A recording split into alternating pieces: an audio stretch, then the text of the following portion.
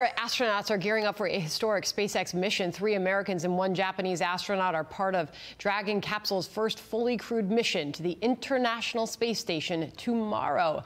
Phil Keating is live at the Kennedy Space Center. So, Phil, very exciting. What can we expect?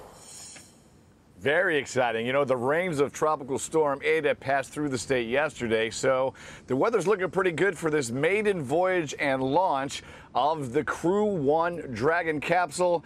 This is going to be big. Take a live look inside. Weather conditions right now 70% favorable. That is historic launch pad 39 and the SpaceX Falcon 9 rocket on bottom and on top the Crew Dragon ready to go tomorrow night. Now this NASA SpaceX launch really a far bigger deal than any launch here since the last space shuttle in 2011.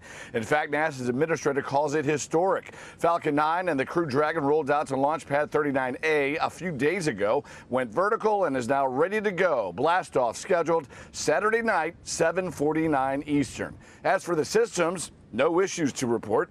Yesterday afternoon, all four astronauts put on their white pressurized suits, rode the Teslas out to the launch pad, and went up to the capsule for one final rehearsal for tomorrow night. They all sat in their seats and basically did every step of a launch and docking with the space station.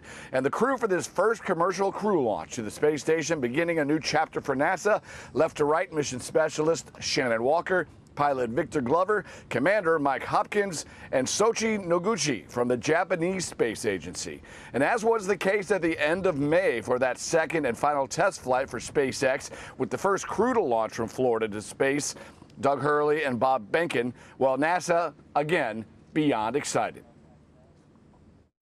being able to get to the ISS and do the research we need to do there in order to get us to the moon and eventually Mars is historic. Having everybody going up together and, and flying them more regularly has always been the goal, and now we're kicking that off. And once the crew gets to the space station early Sunday morning, they all will stay up there six months, 250 miles above you and me. Sandra? Very exciting. We look forward to it. Phil Keating, thank you.